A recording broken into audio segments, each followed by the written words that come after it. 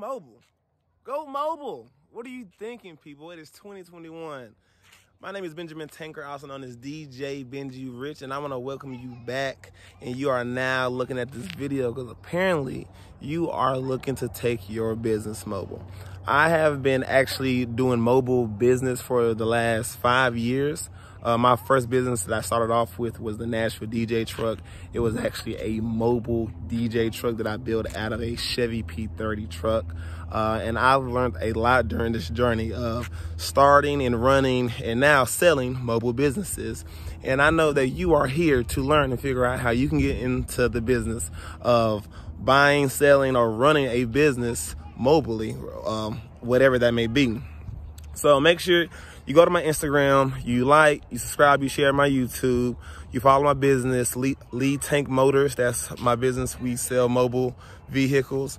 Um, and we help you start them. So let's get started. Um, one of the main things that you need to know about going mobile is being mobile makes you stand out. Um, everybody's going to be looking at you different. This is uh, this is new, new. This is unique. I like I said, I started doing mobile um, mobile party bus for my the Nashville DJ truck was a mobile party bus, and I started doing that back in 2016. And when I first came out, people were looking at me like I was crazy. I had a whole FedEx box truck, and I was DJing out the side, and it was an amazing time. But the biggest thing that I got is I was before my time. This is when food trucks were just now coming out also and getting very popular. And um, it just was a big headache with people who were afraid of what they didn't know. People fear what they don't know. So uh, make sure you are operating with all your permits and all your paperwork because people are afraid of what they do not know. So the first thing is picking your niche picking the thing that you want to take mobile. There are a lot of businesses that you can do mobile. You can do pet grooming, you can do a food truck, you can do um, mobile DJing, you can do mobile detailing, you can do hot dog cart, uh, you can do mobile salon, you can do a mobile boutique, you can do um, a mobile clinic, you can do mobile pandemic pandemic coronavirus testing. Um, you can do pretty much anything mobile um, especially now in 2021, there's a lot of things changing and a lot of states uh, are still on shutdown from the coronavirus, which meaning they are not allowed to have people on the inside of the restaurants, which is forcing them outside. In Los Angeles, um, in Los Angeles right now, they have never came off of being on lockdown and all the restaurants are having to operate outside and all the businesses also. So when I visited there, they had the nail salons. They were actually doing the nails outside. IHOP, all the restaurants were doing business outside. And at least you were an essential need and you had to be inside. You were not allowed to be running your business. So make sure you have a business that's an essential need during the time right now, 2021, this national pandemic, whatever that may, whatever that may be, or the need you can feel in your area. So number one, you got to find your niche find what you're going to be doing. Me, it was uh, I got a food truck, I have my mobile party bus, and now I actually sell mobile businesses to people. I customize them and I sell them, and I also import and I export. So if you need a truck, hit me up. I'm your guy. So number one is finding your niche. Number two, you need to figure out your budget. You need to figure out how much is it going to cost you to actually get started and actually get things going. This is very uh, crucial to your business because I did not do this. I actually just kind of hopped in head first. Um, I sold my wife's car for $1,500. She wasn't driving it and I actually um, purchased a Chevy P30, like I said, for $1,500. And I knew I had a dream. I was on a mission and I was after a goal and I just kept dumping all my money into the truck. I do not advise that to nobody else. This is the point where I'm telling you, you need to create a budget to figure out if this is for you, if this is in your budget, how long this is gonna take, and if you can really afford to be doing this because this is a major project just to be stepping out there thinking it's a, it's not like that. It costs, it's always something happening. Uh, it's miscellaneous cost with mobile, you know. But once you get going, baby, baby, when you going, you going. So, uh, so after you have figured out the total budget of what it needs to get started, you need to see how fast can you work that up that budget, or do you have that budget saved? Can you get finance? How are you going to get this money? How are you going to get this money and will what you're doing actually work in your city? Can you get permits for it? You know what I mean? Um, just figure out, go around, talk to people, Google, do a lot of research. Research, research, research, research, research, research. Understand that, people. Research is going to be your best friend during this whole process. Just the way you found me, and I'm telling you how you can start your mobile business. Research, research. Always keep researching, always keep learning and figuring out ways to grow your business. So after we get past the budget, after we get past finding out what we want to do, our niche after we find out our budget and can we get the codes and restrictions and things done for the actual bus. Now it's actually going out finding and picking your bus. Where are you gonna get your bus from? Are you gonna buy your bus from me? You're gonna buy your bus from the internet, you're gonna buy it from Google, you're gonna buy it from Facebook Market, you're gonna buy it from Craigslist.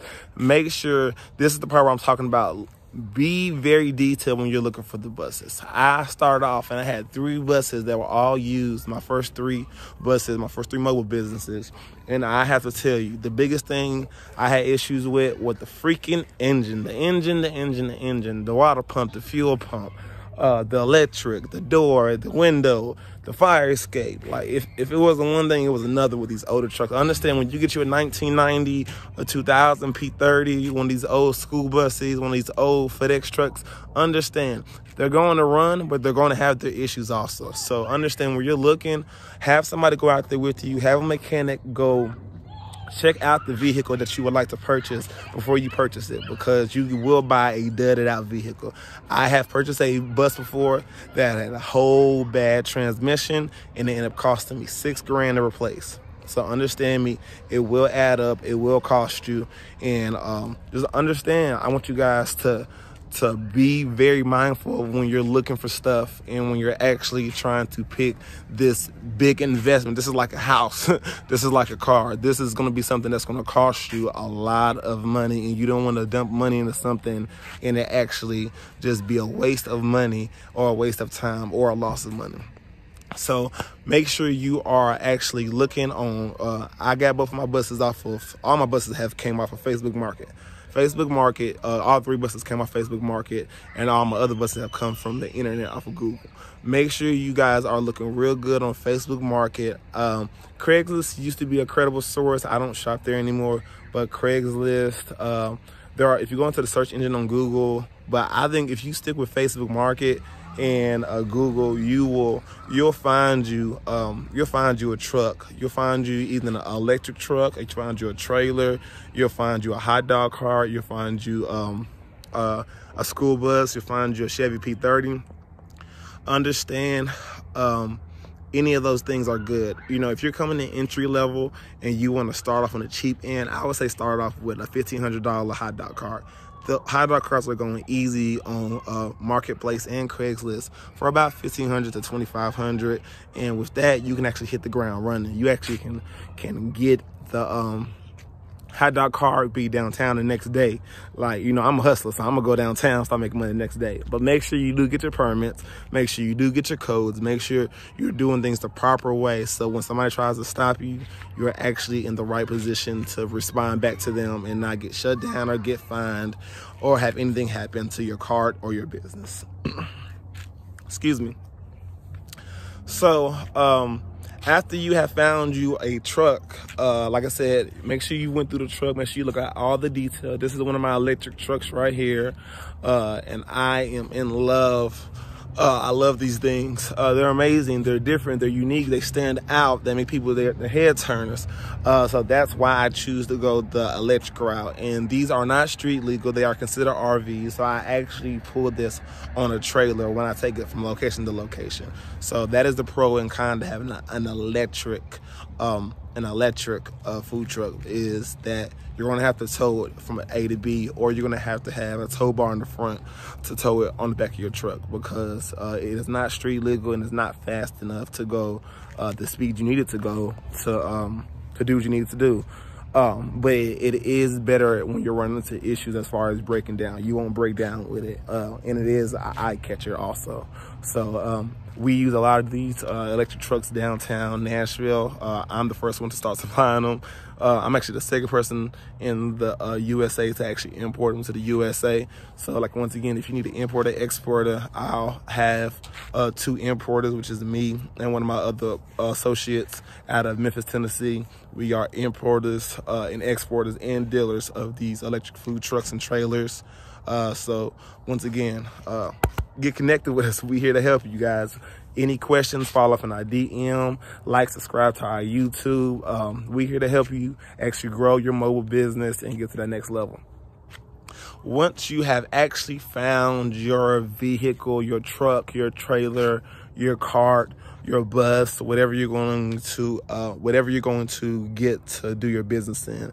Uh, you need to see how much is it going to cost you to get customized because customizations do cost uh, the, the equipment all the metal things on the inside the sinks it's a lot of things that actually cost more than what you think. So remember go back to your budget and all those things you know you need. Starting the boutique the lights the racks starting a hot dog stand getting the sink running getting your materials uh, your condiments your uh, your silverwares, whatever you need, just uh, go and start adding all those things up because those things will add up very quick and you want to be able to make sure you're not running out of your budget or you're not spending too much money in places you shouldn't be spending money.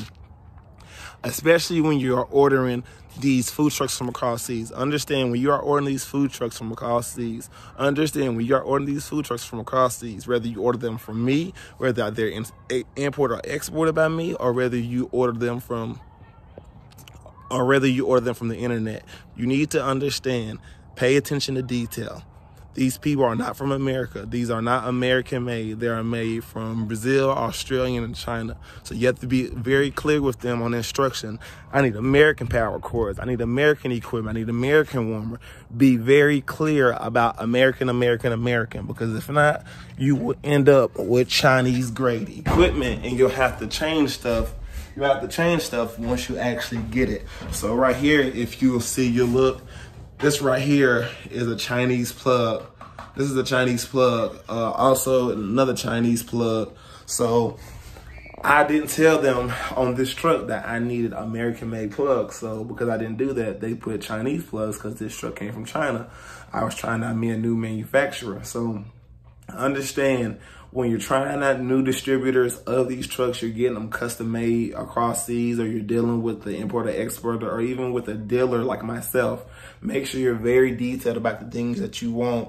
AC unit, you know what I mean? The sinks, the warmers, the fryers, you know, the back hand washing sink, the flat top. I'm sitting on top of the refrigerator right now. You see what I'm saying? So you have to be very, very detailed. In this truck right here, I didn't have them install a hood in this truck. So this truck is actually missing a hood, which you need a hood to pass health codes. This is what I'm talking about when I'm saying you have to be very detailed in everything that you're saying when you are ordering these trucks because everything that you're not saying, you're saying. So understand I'm being very clear to you. I want to help you. I want you to be able to order these trucks. I, want, I want you to be able to hit the ground running starting whatever business that you want to start whether it be boutique, mobile clinic, food truck, food cart, um, mobile DJ truck, whatever it is, I want you to be successful and I want you to be able to hit the ground running where can't nobody stop you because this is the time to do. If you're going to do anything mobile, going mobile is now. Starting a business mobily is now. Having that overhead of a brick and mortar, them things, them days are over. Over. Uh, so back to business.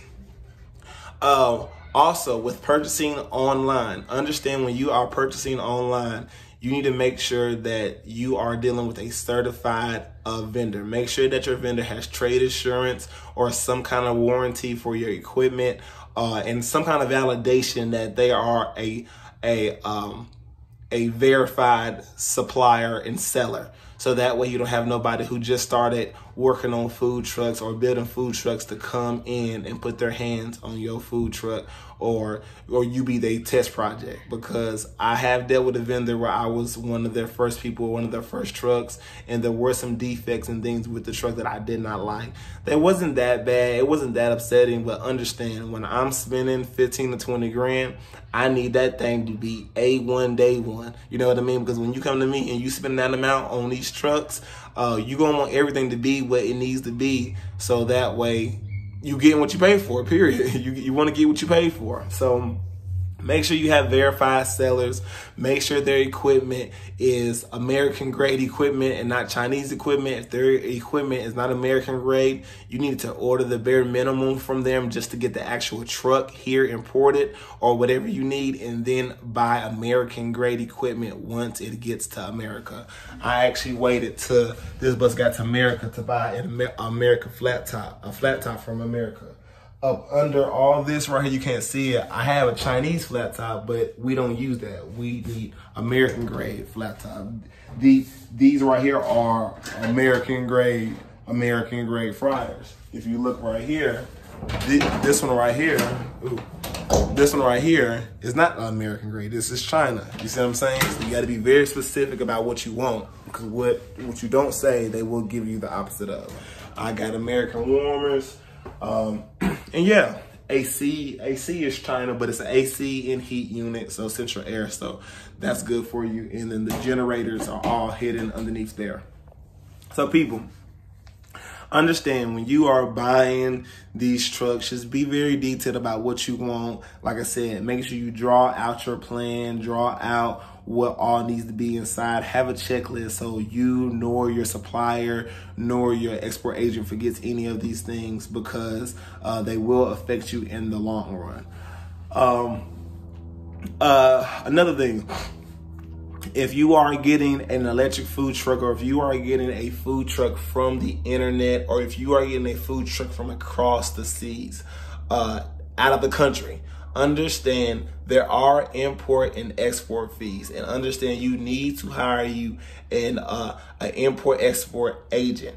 That is myself and I know a few other people, but uh, it's an import export agent where you will be able to deal with. will you'll deal with us, and we'll, we'll we will connect you with your, your logistics handler, your custom agent, uh, your cleaning fees, all your extra fees that will be coming along with the truck. We'll be there to walk you through. The biggest the biggest thing that I learned from this process of ordering uh, these food trucks from um, from across seas is the fact of when you buy it from the website or whoever you're buying your food truck from, understand there is an export fee, there is a import fee, there is a logistics fee, there is a clean, there, there is a disinfectant fee, there is a dock fee, there are the warehouse fees, there are the sitting fees.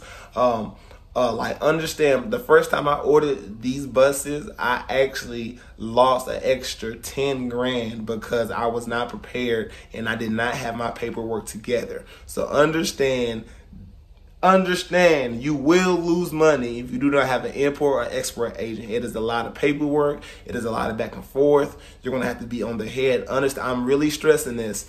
Like, like I lost the money and I became an import and export agent because I I actually went to go buy information to learn to get it done because I was already so deep. I was I was dishing so much money out, so much money. That's why I'm stressing. Like, yes, these food trucks and trailers look very cheap online. But understand that you paying you paying the factory, you paying the supplier, you are just only paying them. Their job is only to sell you a product. Their job is to only only show you this is a, a, food truck, this is a food trailer. You see this? This is nice. Buy it from me. You'll buy it from them, but they'll not tell you that you also have an extra three grand shipping fee. Then you have the export fees to get it from China. Then have to put it on the truck. That costs you. Then it's going to take you, it's going to take about 45, 50 days on the water to get, to get over to, uh, to America, depending on what shipping company you use, because they go up different ways to get to America, depending on what port you have it shipped to.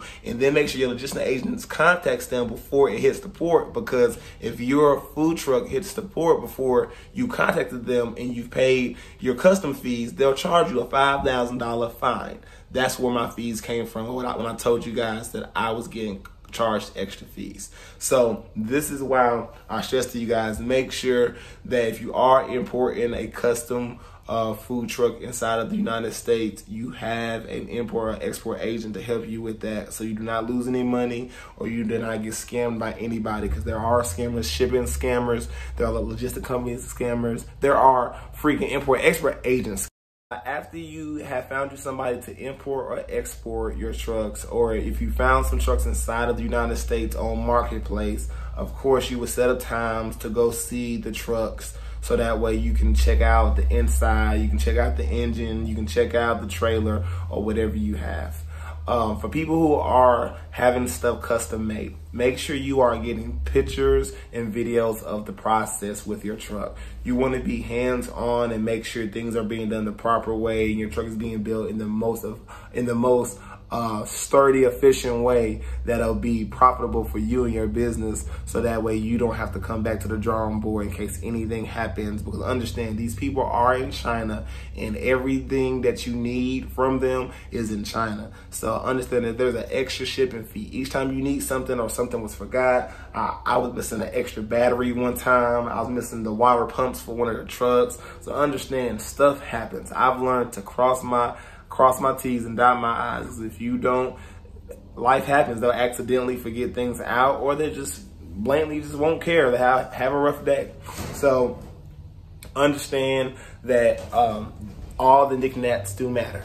Um, next, you need to worry about shipping. Uh, shipping, there is going to be shipping wherever you buy a food truck from. You're either going to have to go pick it up, or you're going to have to get it shipped to you, or you're going to have to go get it shipped from across seas to America and then from America to your house, make sure you you've done your research on shipping and you have a good qualified shipper because that is going to be very vital in keeping your expenses low with getting your truck to you if you have purchased from across seas or if you have purchased from across the country. You know, uh, LA has a lot of good cheap food trucks, but just to get a food truck from LA all the way to Nashville is going to cost you about a good two twenty five hundred dollars. I would say about twenty five hundred dollars. So I would I would really advise you check into the shipping. Also with with China right now with COVID nineteen, the pandemic going on. I used to get shipping cheap one of my buses, one of my buses ended up only only costing me, I think it was eleven hundred for shipping. But now I just did um I just did an inquiry about another truck and it was going to be thirty five hundred dollars just for shipping. So make sure you do your calculation on shipping before before you get involved. Uh, before you get involved because it will come around and bite you in the tail and you'll be upset once again having another setback having to wait to start your business and get started going Okay. after you have gotten your truck, your trailer, after you have custom built it out yourself, like I've mentioned, I've built out multiple party buses myself. The Nashville DJ truck, I did my first three by myself, and or with me, my uncle, of course. And then now, um, I have now created uh, Lead Tank Motors, where I buy, sell, and trade food trucks, and I have two food trucks of my own. Uh, so once you get the trucks, you need to fully make sure all the equipment works inside the trucks. Like go through everything, cut everything on, every faucet, every light bulb, every screw, every bulb. Make sure everything works. Make sure everything's functioning. You need to go do a walkthrough of your food truck, of your business, of whatever you have to make sure it's ready to go. Because if you created this business plan, if you've created, if you have this niche, if you have this budget, if you follow these steps to actually starting and growing your um, your mobile business, you should already have had social media pages created. You should have already already had your, your EIN numbers. Like that's ba- basic business ethics. So if you don't have basic business ethics, you can sign up for the I Hustle E brand where I will teach you how to start and run a business from scratch. Uh, so that can also help you. Uh, if you need more detail on how to start and get your business up and running, which you shouldn't be this far into the process if you haven't already done joint there first. So with that being said, this is coming to an end. If you have any questions, make sure you uh, you leave me a comment. Uh, I will answer any DMs. You know, I'll talk to you. Any knowledge you want to know about uh, owning you a food truck, getting started with a mobile business, whatever that may be. Like I said, right now I own a food cart. I own two food trucks, and I actually sell these. I've already sold six of them now. So if you would like to get inside of one of these electric food vehicles, or if you're like a trailer, if you're like a hot dog cart, if you like to just start a business, any kind of business, make sure you follow from my DM at DJ Benji Rich. Uh, follow Mass Influence Media, and I look forward to working, linking up, and building a great business with you. I would just love to help you start a business from nothing and make it something so you can be financially free to do what you need to do in 2021. Don't let nobody stop you. Let's get it. I would like to say thank you to everybody that purchased this ebook, How to Start a Mobile Business. Um, I've been doing this for five years and it's been a journey and I promise you I am excited about what is ahead of me. If you got to the end of this video and you are amped up, you're excited to get to the next level and start your mobile business today, go ahead and get on Facebook Market, do some research, or if you're just ready to go ahead and come directly to me and buy you an electric vehicle, a food cart, um, the hot dog cart, a food trailer. If you're ready to get into the mobile business, make sure you contact me, Benjamin Tankard, at Lead Tank Motors. Uh, that is us on Instagram and on Facebook. Or give me a phone call at 615 546 8248 or shoot me an email at djbenjirich at gmail.com. I'm excited to work with you guys and I look forward to help you build your mobile business and go out there and grow and expand and be the best that you can be to go where you want to go and not have anybody stop you and you have financial freedom. Hit me up, Mass Influence Media, DJ Benji Rich.